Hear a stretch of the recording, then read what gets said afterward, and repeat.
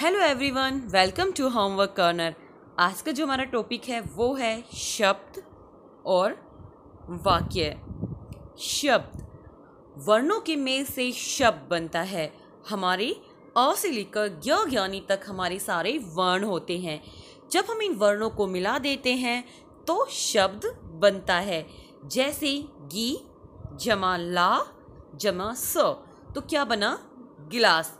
यहाँ पर ध्यान रखिए जब हम वर्णों से शब्द बनाते हैं तो उस शब्द का कुछ अर्थ निकलना चाहिए। जैसे ग्लास शब्द का अर्थ होता है पानी पीने का बर्तन। अगर उस शब्द का कोई अर्थ नहीं निकलता है तो उसको हम शब्द नहीं कहेंगे। जैसे अगर ग्लास को मैं इस तरह से लिखूं, ला जमा स जमा गी, लासगी। लासगी कोई शब्द नहीं है, क्योंकि इसका कोई भी अर्थ नहीं निकलता है। आइए कुछ उदाहरण द्वारा समझते हैं, जैसे लाताब और तालाब। दोनों में कौन सा सही होगा? तालाब। ऐसे ही मक्खन और नमक में कौन सा सही होगा हमारा? नमक। इसका मतलब हम शब्द उसी को कहेंगे जिसका कुछ अर्थ निकलता हो।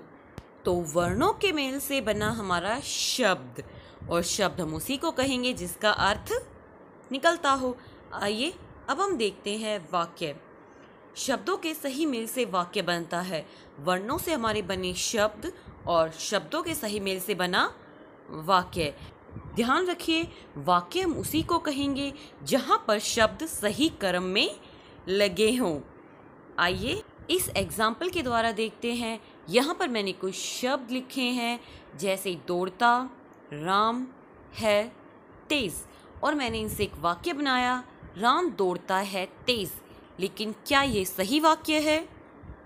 नहीं, क्योंकि यहाँ पर जो शब्द है, उनका कर्म गलत तरीके से लगा हुआ है। तो सही वाक्य क्या होगा हमारा? राम तेज दौड़ता है। ये बिल्कुल सही वाक्य है, क्योंकि सारे शब्द एक कर्म में लगे हुए हैं। आइए अब कुछ और एग्ज़ाम्पल द्वारा समझते हैं। जैसे खरगोश दौड़ता है तेज। क्या ये सही वाक्य है? नहीं, क्योंकि ये सही क्रम में नहीं लगे हैं। खरगोश तेज दौड़ता है, ये सही वाक्य है, क्योंकि यहाँ पर सारे शब्द सही क्रम में लगे हुए हैं। ऐसे ही, दोस्त मेरे नाम का है सुनील। ये एक गलत वाक्य है, क्योंकि यहाँ पर शब्दों का क्रम जो है वो सही नहीं है। तो शब्दों का सही क्रम क्या होगा? मेरे दोस्त का नाम सुनील है। ये एक वाक्य है, क्योंकि यहाँ पर सारे शब्द एक सही क्रम में लगे हुए हैं। तो वर्णों से हमारा बना शब्द और शब्दों से हमारे बने वाक्य।